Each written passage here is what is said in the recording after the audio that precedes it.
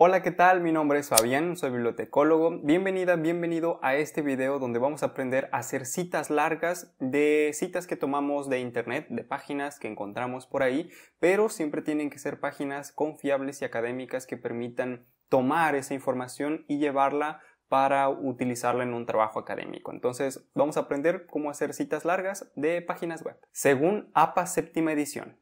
Calimacodigital.com En APA séptima edición, las citas largas se conocen como citas de más de 40 palabras. Las citas de más de 40 palabras se estructuran de una forma diferente dentro del documento. Te lo voy a mostrar así gráficamente para que me entiendas. Imaginemos que este de aquí es nuestro documento. Una cita larga se compone por un párrafo inicial, que es este de aquí, una sangría, que es este espacio de aquí, y después vendría el texto que se cita en esta parte. Por lo tanto, tenemos tres partes. La parte introductoria, el texto que introduce la cita, Después, APA séptima edición dice que debemos de tener una sangría de este lado, por lo tanto dejamos un espaciecito y después tendríamos aquí el texto que citamos. Ahora, la cita la podríamos poner de diferentes maneras. Existen las citas narrativas y existen las citas parentéticas. Vamos a ver porque la única forma de ver esto es con ejemplos, así que te voy a poner un ejemplo de cómo sería una cita narrativa y cómo sería una cita parentética. Aquí tenemos nuestras tres partes.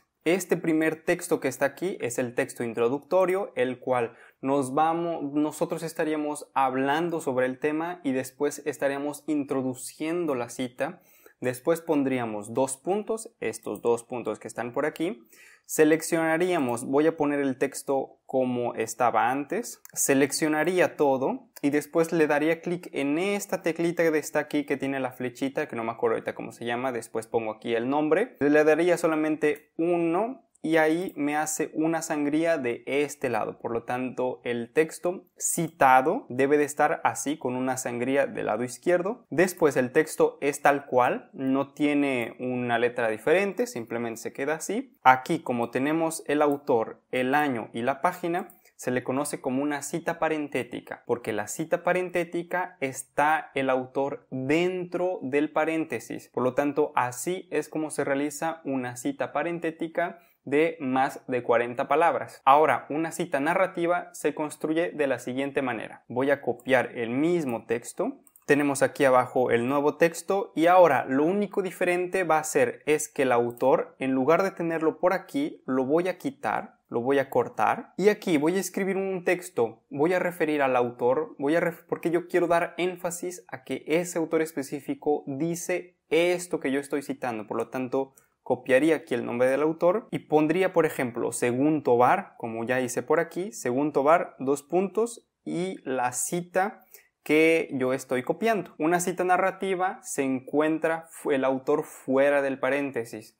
Y una cita narrativa lo que nos permite es darle más énfasis a que esa persona está hablando o está diciendo algo muy específico, muy concreto. Por lo tanto, la cita narrativa sirve para eso. Y la cita parentética le da un poco más de énfasis a la idea más que al autor. Te recuerdo que también tengo toda una lista de videos sobre APA séptima edición, te la dejo por aquí en una tarjetita por si quieres aprender a usar este método de citas y referencias y si eres universitario, si estás estudiando una carrera, si estás haciendo una maestría, si eres investigador, te invito también a que te suscribas al canal ya que hablo temas que son de interés para universitarios e investigadores. Si te interesan estos temas como búsqueda de información académica, citación, APA 7, realizar ensayos, escrita académica, etc., te invito a que te suscribas. Ahora para finalizar, cómo realizar la referencia a esta cita que nosotros estamos poniendo aquí, que la referencia es aquella parte que ponemos al final del trabajo académico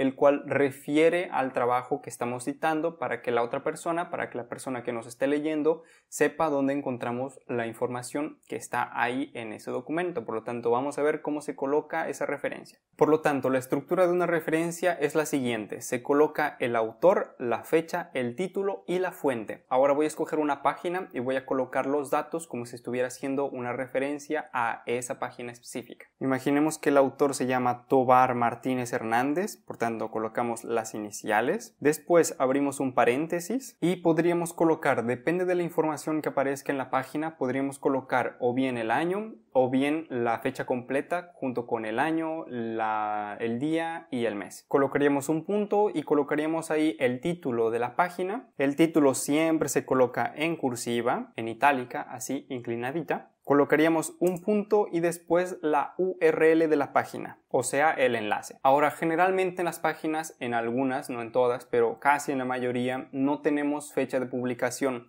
Lo que haríamos sería lo siguiente. Colocaríamos en la referencia SF, o sea, sin fecha, y colocaríamos antes de la URL la fecha en que consultamos la página. Pondríamos un punto y el enlace de la página. Y así es como se realizan las referencias de una página web y una cita larga de más de 40 palabras. Muchas gracias por ver este video y nos vemos en un próximo. Chao.